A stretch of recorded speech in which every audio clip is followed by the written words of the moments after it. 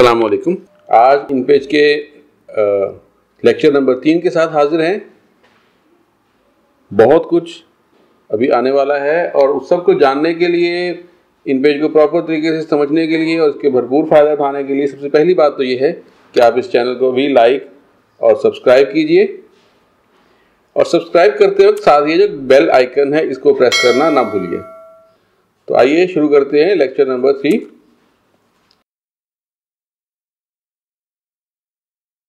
हम नई document open करने के लिए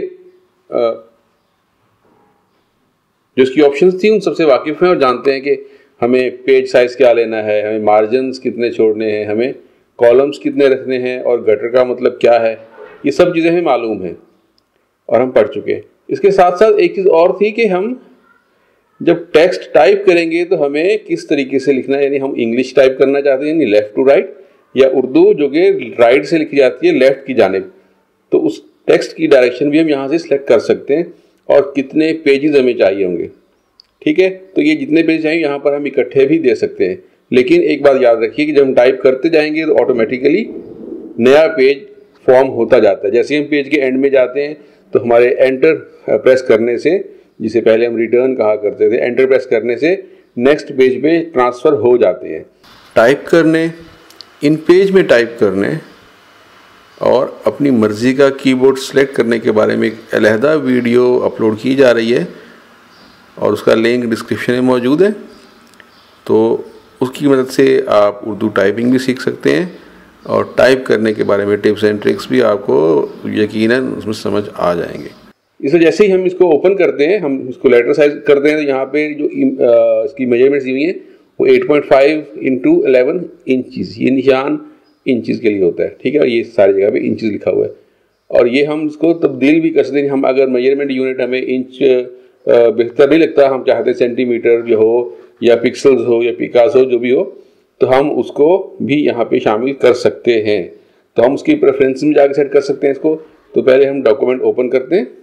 न्यू डॉक्यूमेंट ओपन होने के साथ ही कुछ मीन्यूज इजाफी आ गए पहले सिर्फ़ फ़ाइल एडिट और हेल्प का मीन्यू था। लेकिन जब हम कोई डॉक्यूमेंट ओपन कर लेते हैं तो मुकम्मल मीन्यू की लिस्ट यहाँ पे आ जाती है।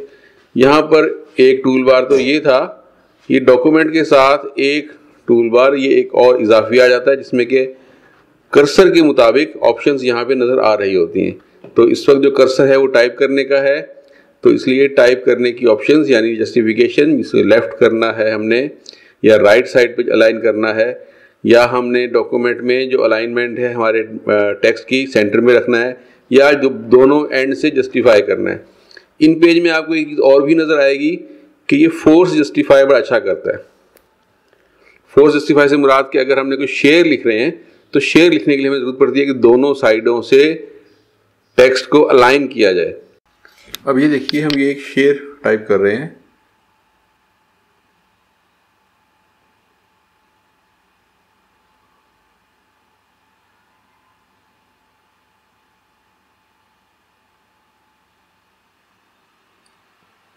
इस वक्त यह है राइट साइड पे अलाइन है। ठीक है? ये टेक्स्ट को हम पहले सेलेक्ट करेंगे ताकि इसकी हम अलाइनमेंट चेंज कर सकें। टेक्स्ट सेलेक्ट करके फिर क्या किया हमने? ये देखिए, अब हमने क्लिक किया इसको लेफ़्ट साइड पर अलाइन करें। तो ये लेफ़्ट साइड सारे टेक्स्ट सारा टेक्स्ट लेफ़्ट साइड पर चला गया। और जब हम इसको अलाइन करते, जब हमने इसको सेंटर किया तो तमाम टेक्स्ट सेंटर में आ गया। और जब हमने इसको जस्टिफाइड किया तो भी तमाम टेक्स्ट इसका राइट साइड पे चला गया, लेकिन और दोबारा जस्टिफाइड करने से आप नोट करें कि पहली लाइन मुकम्मल स्टार्ट टू एंड मार्जिन को छू रही है, जबकि सेकेंड लाइन में सिर्फ़ एक लफ्ज़ है, लगे और वो राइट साइड पर मौजूद है। और जैसे ही हमने फोर्स जस्टिफाई किया तो कोई ख़ास फ़र्क नहीं पड़ा, बल्कि वो जो लफ्ज़ था, एक लफ्ज़ था, आखिरी लाइन में, वो उठकर लेफ़्ट साइड पर चला गया। ठीक है? ये इस तरह क्यों हुआ? क्योंकि पहली लाइन की जो लंबाई थी, वो लेफ़्ट और राइट मार्जिन से ज़्यादा थी। तो जैसे ही एक लफ्ज़ आगे जा रहा है, उसने उसको जस्टिफाई करने के लिए लाइन के आखिर में सेट कर दिया। तो इसका हल क्या है कि हम थोड़ा सा या तो हम साइज़ कम करेंगे टेक्स्ट का, या हम स्पेसिंग कम करेंगे, या हम इसको मार्जिन को थोड़ा सा कम कर देंगे, ताकि स्पेस ज़्यादा मिले। असल में स्पेस का मसला बन रहा है यहाँ पर। तो हम क्या करते हैं कि हम थोड़ा सा इसमें थोड़ा सा इसमें हमने स्पेसिंग कम की और ये दोनों लाइनों का टेक्स्ट बराबर हो गया फोर्स जस्टिफाइड ये फोर्स जस्टिफाइड टेक्स्ट आप देख रहे हैं ऊपर की दोनों लाइनों में। ये जो तीसरी लाइन हमने लिखी है, ये इसमें अल्फाज कुछ कम है, जबकि स्पेसिंग की वजह से इसको पूरा किया गया है।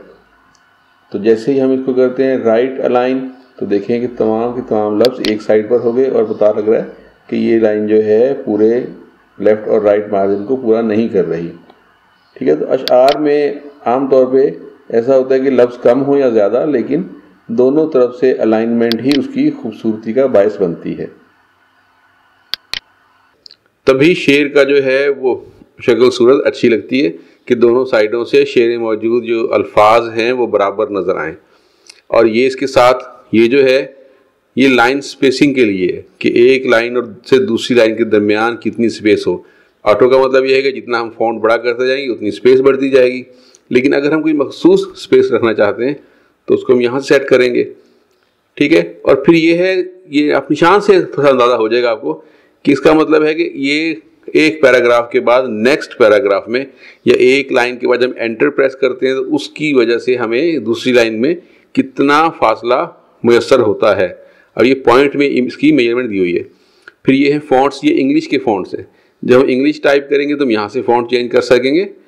और जब उर्दू में टाइप करेंगे तो उसके फॉन्ट हम यहाँ से चेंज कर सकेंगे। और फिर फॉन्ट का कलर कि हमने किस कलर में टाइप करना है। और फिर कुछ फॉन्ट की फॉर्मेशन है, यानी बोल्ड है इटैलिक है। लेफ़्ट टू राइट है, ये राइट टू लेफ़्ट है या लेफ़्ट टू राइट है। ये दोनों सेटिंग यहाँ दी गई हैं। फिर फॉन्ट का साइज़ ठीक है? और फिर ये है उसका अंडरलाइन सिंगल अंडरलाइन करनी है डबल करनी है, उसके ऊपर हमने लाइन लगानी है, या जो टेक्स्ट इतना लिखा जाएगा, उसके गिर्द एक बॉक्स नमूदार हो जाए। ठीक है? अब ये जो हम टाइप कर रहे हैं, उसके अल्फाज के दरमियान की स्पेसिंग यहाँ से हम उसको सेटिंग देख सकते हैं। ठीक है? और यहाँ ये है उसकी स्केलिंग करेक्टर की स्केलिंग यानी हम अगर कैरेक्टर को दबा कर लिखना चाहते हैं या ज़्यादा फैला कर लिखना चाहते हैं तो हम यहाँ से उसकी पैमाइश दे सकते हैं। हंड्रेड परसेंट का मतलब ये है कि हम जो कुछ लिखेंगे, वो हंड्रेड परसेंट साइज़ में आएगा। मिसाल के तौर पर हम लिखते हैं पाकिस्तान से। ये पाकिस्तान। ठीक है? पाकिस्तान को कोई भी कमांड अप्लाई करने के लिए हमने जो कुछ टाइप किया है, उसको पहले सेलेक्ट करना ज़रूरी होता है। याद रखिएगा, कोई भी कमांड हमने अप्लाई करनी हो तो पहले सेलेक्ट करना ज़रूरी होता है। हम सेलेक्ट कर लिया। और अब इसका हम फॉन्ट साइज़ चेंज करना चाहें तो कर सकते हैं। सेलेक्ट करने के बाद अगर सेलेक्ट नहीं किया होगा तो ये उस पर अप्लाई नहीं होगा। याद रखिएगा। ये देखिए, हमें जो पॉइंट साइज़ दरकार हो, उस पॉइंट साइज़ यहाँ दे देंगे। ये देखिए पाकिस्तान और इसके बाद जिंदाबाद। ठीक है? ज़िंदा। जिंदाबाद। पाकिस्तान जिंदाबाद। अब ये इसको हम सेलेक्ट कर लेते हैं और यहाँ पे हम करेक्टर स्पेसिंग देते हैं। तो यहाँ पे हम कहते थे ट्वेंटी तो ये देखिए, ये हर एक हर्फ के अंदर स्पेसिंग ट्वेंटी परसेंट हो गई। ठीक है ट्वेंटी परसेंट स्पेसिंग और अगर हम कहते हैं कि इसको अल्फाज को भी हमने खींचना है, अभी देखिए कोई भी करेक्टर जो है, उसकी शक्ल ख़राब नहीं हुई। वो अपनी जो उसकी शेप है, वैसे ही है, लेकिन उसके दरमियान स्पेस जो है, उसका इजाफा हो गया है। तो अब हम कहते हैं कि हम इन अल्फाज को भी खींच कर बड़ा करना चाहते हैं। तो हम कहते हैं वन फिफ्टी। मैं एक्स्ट्रा इसलिए मैं समझता कि वाज फ़र्क नज़र आए कि हमारी किस कमांड से क्या फ़र्क पड़ा। सेलेक्ट किया हुआ है, ठीक है, और पैमाइश हमने बढ़ा दी। अब एंटर करेंगे तो ये अप्लाई हो जाएगा इसके ऊपर। ये देखिए देखा आपने अल्फाज कुछ फैल गए, जबकि हंड्रेड परसेंट पे जो इसकी शुबाहत थी ओह होगी। टेन परसेंट टेन परसेंट में क्या हुआ? ठीक है हंड्रेड परसेंट पे जो इसकी असल शक्ल है, उसमें हम इसको देखेंगे। और अगर हम इसको ये चाहते हैं कि ये असल हालत में रहें तो यहाँ पे इनके दरमियान स्पेसिंग भी ज़ीरो कर देंगे। ठीक है जो फॉन्ट का बाय डिफ़ॉल्ट स्पेसिंग है, वही रहे इसके अंदर। ठीक है साइज़ भी बड़ा हो गया। अब यहाँ से देखेंगे इसी सिंगल अंडरलाइन ठीक कैसे और ये हम डबल और बॉक्स बन गया इसके गिर्द और फिर पैटर्न यानी पैटर्न का मतलब ये कि इसके गिर्द ये शेड आ गया है ठीक है? जब हम सेलेक्ट कर लेते हैं तो इसको ये ब्लैक इसको इसके ऊपर ब्लैक कलर आ जाता है और ये रिवर्स में नज़र आता है हमें ठीक है? तो ज, वो जब तक हम बाहर कहीं क्लिक नहीं करेंगे तो हमें पता नहीं चलता कि हमारी किस कमांड से क्या फ़र्क पड़ा ठीक है? तो यहाँ से हम इसको ये रिवर्स और रिवर्स का मतलब ये कि टेक्स्ट जो है वो वाइट है और इसके बैकग्राउंड जो है वो ब्लैक कलर में आ गई है। ये रिवर्स करने के लिए भी जब तक हम आउट क्लिक नहीं क्लिक आउट नहीं करेंगे, इस सिलेक्शन से बाहर क्लिक नहीं करेंगे तो हमें उसका पता नहीं चलेगा। फिर दोबारा सेलेक्ट करके इस रिवर्स को हम ख़त्म करते हैं नन देखिए अब लग रहा है रिवर्स है, लेकिन हम अगर क्लिक करेंगे सिलेक्शन के बाहर तो पता चलेगा असल हालत क्या है। ठीक? अब नेक्स्ट एक चीज़ थी, हमें थोड़ा सा कुछ ज़्यादा टाइप करना पड़ेगा। मैं कुछ टाइप करता हूँ और फिर उसमें हम देखते हैं क्या कुछ हम कर सकते हैं।